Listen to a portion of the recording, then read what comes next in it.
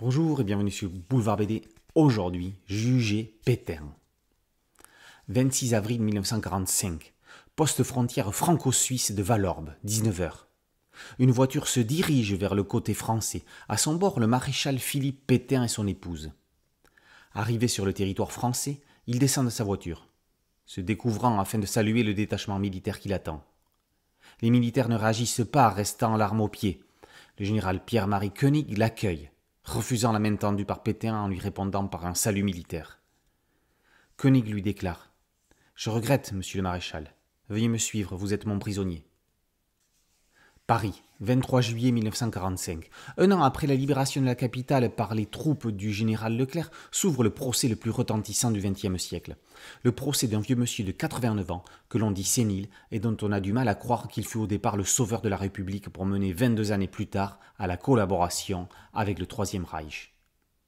Trois mois après la capitulation de l'Allemagne nazie, s'ouvre le procès du maréchal Pétain, l'un des personnages les plus controversés de l'histoire de France. Adaptant un film documentaire diffusé en 2015 sur France 5 à la télévision, Philippe Sada, le scénariste, nous présente en BD le déroulement du procès Pétain. Il retrace les grandes décisions prises par le maréchal de la mi-juin 1940 jusqu'à la capitulation. Bon nombre d'intervenants vont être appelés à la barre afin de témoigner de leur rôle dans les actes posés par le gouvernement.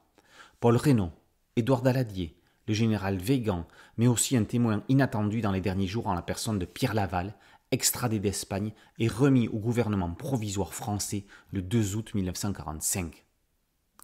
Sébastien Vassan illustre en monochromie sépia ce procès, s'attardant plus particulièrement sur les expressions des visages des orateurs défilant à la barre. Les grands journalistes tels Joseph Kessel, mais aussi l'écrivain Albert Camus, sont mis en avant à travers leur prise de position dans les différents éditoriaux de l'époque. Le lecteur se trouve face à un très bon album pédagogique de 130 pages, très bien documenté et structuré. Le travail d'un historien partageant son analyse d'un événement marquant de l'immédiate après-guerre. Même si Philippe Pétain n'a jamais cessé de clamer que pour le bien de son peuple il préférait la collaboration à la guerre, il ne faut pas oublier qu'il a envoyé des milliers de juifs à la mort. La grande question demeure comment un homme peut passer de maréchal héros de Verdun à accompagnateur de la défaite française, mais surtout collaborateur avec l'Allemagne nazie.